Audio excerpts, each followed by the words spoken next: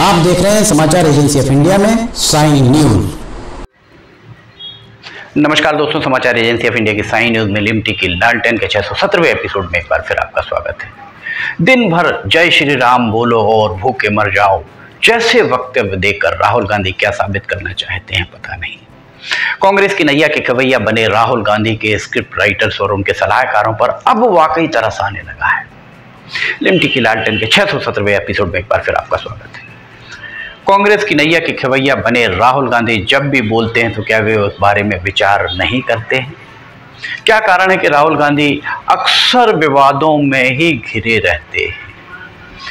देश की सबसे पुरानी और आधी सदी से ज़्यादा तक, आधी सदी से ज़्यादा समय तक देश पर राज करने वाली कांग्रेस पार्टी के स्टार प्रचारक राहुल गांधी हैं और उनके द्वारा इस तरीके से जो वक्तव्य दिए जा रहे हैं, उन वक्तव्यों की क्या उनसे उम्मीद की जा सकती है? जो अक्सर ही राहुल गांधी वक्तव्य दिया करते हैं। राहुल गांधी को सोचना होगा कि उनके द्वारा दिए गए भाषणों की स्क्रिप्ट कौन लिख रहा है या उन्हें कौन सलाह दे रहा है कि वे इस तरीके की बात करें। उनको सलाह देने वाले कौन हैं? क्या इस तरह के वक्तव्यों के साथ राहुल गांधी ये सपना देख रहे हैं कि इस साल 2024 में होने वाले आम चुनावों में वे भारतीय जनता पार्टी से लोहा ले पाएँगे? सियासत में एक दूसरे पर आरोप और प्रत्यारोप लगाना आम बात है। पर इस, इससे, इसमें धर्म के बारे में कुछ भी कहना शायद इसलिए उचित नहीं है क्योंकि धर्म धर्म के बारे में अगर हम बात करें तो ये पूरी तरह आस्था और विश्वास का विषय है। कांग्रेस नेता राहुल गांधी इन दिनों भारत जोड़ो न्याय यात्रा पर निकले हैं और भारत जोड़ो न्याय यात्रा मध्य प्रदेश से गुजर रही है। देश के हृदय प्रदेश, मध्य प्रदेश के शाजापुर में प्रधानमंत्री नरेंद्र मोदी पर हमला बोला। राहुल गांधी ने और कटाक्ष करते हुए राहुल गांधी का कहना था कि पीएम मोदी चाहते हैं कि आप दिन भर जय श्री राम बोलो और भूखे रह जाओ। कहाँ तक उचित माना जा सकता है इसे? देखा जाए तो विपक्षी पार्टी के पूर्व अध्यक्ष होने के नाते राहुल गांधी का ये धर्म है कि सत्तारूढ़ दल पर आरोप प्रत्यारोप लगाएँ, सत्तारूढ़ दल को कोसें, उनकी अस्पताओं को गिनाएँ। पर धर्म पर इस तरीके से बोलने का अधिकार शायद उन्हें नहीं है।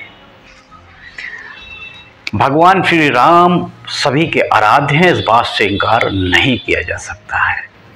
राहुल गांधी ने भगवान श्री राम के संबंध में जो कहा, वो किस संदर्भ में कहा, ये तो बात तो वे ही जाने, पर उनकी ये बात वास्तव में दिल में पीड़ा उठाने के लिए पर्याप्त मानी जा सकती है। राहुल गांधी के सलाहकार कौन हैं? उनकी स्क्रिप्ट, उनके लिए स्क्रिप्ट कौन लिख रहा है, इस बारे में राहुल गांधी को तय करना चाहिए। निश्चित तौर पर ये उनका नितांत निजी विषय है, पर जिस तरीके से उनके वक्तव्य आ रहे हैं, उसके कारण ये कहने पर मजबूर होना पड़ रहा है। राहुल गांधी को यह तय करना चाहिए कि उनको दी जाने वाली सलाह या उनके भाषणों में उनकी छवि किस तरीके की निर्मित हो रही है। राहुल गांधी भूल जाते हैं कि रामानंद सागर के द्वारा जिस रामायण सीरियल के का निर्माण किया गया था, रामानंद सागर उसके निर्माता और निर्देशक थे, उसका प्रसारण डेढ़ साल, अठारह महीने तक हुआ था। रामायण सीरियल का प्रसारण 25 जनवरी अठारह उन्नीस, माफ़ कीजिएगा, उन्नीस से 31 जुलाई उन्नीस सौ अठासी तक हुआ था। उस दौर में रामायण सीरियल के प्रसारण के दौरान सड़कें सूनी हो जाती थी, गलियाँ सूनी हो जाती थी, इस बात की आप और हम साक्षात गवाह हैं। ये सब कब हुआ? ज़ाहिर है कांग्रेस के शासनकाल में। फिर राहुल गांधी भगवान राम के बारे में इस तरीके का वक्तव्य कैसे दे सकते हैं? क्योंकि रामायण सीरियल से ही के उपरांत ही लोगों के घर घर तक भगवान श्री राम की सारी कथाएँ पहुँची। राहुल गांधी के द्वारा जो बात कही गई है, उसे उससे भारतीय जनता पार्टी के नेता कितने आहत हुए हैं तो भारतीय जनता पार्टी जाने पर राम पर आस्था रखने वाला हर आम भारतीय बुरी तरह आहत हुआ ही होगा। हम अपनी बात अपनी बात करें तो बचपन में जब हमें पहली कक्षा में गिनती सिखाई जाती थी, तब एक, दो, तीन, चार, पाँच छः सात, आठ, नौ, दस ऐसा नहीं सिखाया जाता। राम, दो, तीन, चार। हमारे शिक्षक, वे किसी भी धर्म, किसी भी संप्रदाय के हों, वो कहा करते थे कि राम सबसे पहले, इसलिए एक नहीं, राम दो, तीन, चार। बचपन से हमारे दिलो दिमाग में जो बात है, हमारी आस्था, हमारा विश्वास जिसके प्रति है, उसके बारे में, अगर राहुल गांधी इस तरीके की टीका टिप्पणी करते हैं तो उसे कतई उचित नहीं माना जा सकता है। देखा जाए तो राहुल गांधी के द्वारा भाजपा की राह ही आसान की जा रही, भाजपा की राह को ही आसान किया जा रहा है। कभी कभी तो ऐसा प्रतीत होता है, वास्तव में ऐसा लगने लगता है कि राहुल गांधी के आसपास भाजपा के रणनीतिकारों ने ही अपने लोगों को प्लांट करके रखा है। सनातन धर्म पर आस्था रखने वाले के लिए भगवान राम आराध्य हैं। इसके बाद भी राम मंदिर के मामले में कांग्रेस का स्टैंड उसके गले की फांस बनता जा रहा है।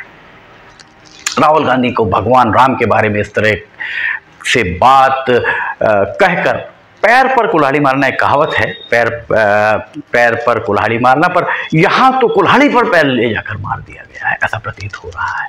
इस तरीके का काम उन्हें कतई नहीं करना चाहिए।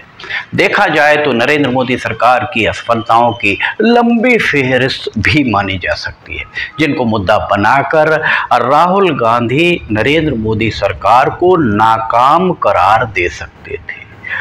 मामला भ्रष्टाचार का हो, मामला बेरोजगारी का हो इन सारे मामलों में किसानों का मसला हो, किसानों का आंदोलन भी चल रहा है इन सारे मसलों में।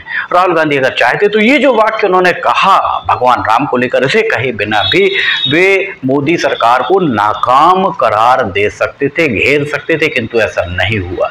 और अब तो तीर कमान से बाहर निकल चुका विभिन्न मीडिया पोर्टल्स पर अगर आप नज़र डालें तो एक खबर प्रमुखता से दिख रही है, चल रही है, वो है कि लोकसभा चुनाव के पहले चुनाव आयोग ने राहुल गांधी को सार्वजनिक बयानों में सतर्क रहने की सलाह दी है।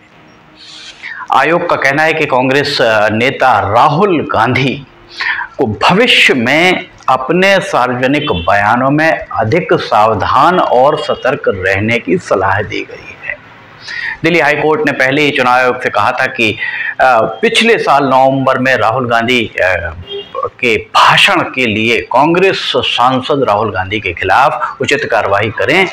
राहुल गांधी ने प्रधानमंत्री नरेंद्र मोदी सहित अन्य भाजपा नेताओं को पर हमला करते हुए उन्हें जेब कतरा शब्द का उनके लिए प्रयोग किया था। चुनाव आयोग ने प्रधानमंत्री नरेंद्र मोदी पर पनौती और जेब कतरे वाले तंज को लेकर राहुल गांधी को नोटिस भी जारी किया था। कांग्रेस नेता राहुल गांधी के हित चिंतकों विशेषकर सोनिया गांधी और प्रियंका वडेरा को चाहिए कि वे पिछले एक साल में राहुल गांधी के सलाहकार कौन रहे हैं, उनकी भाषणों की स्क्रिप्ट किसने लिखी है, इस बारे में उनके भाषण किसने तैयार किए हैं?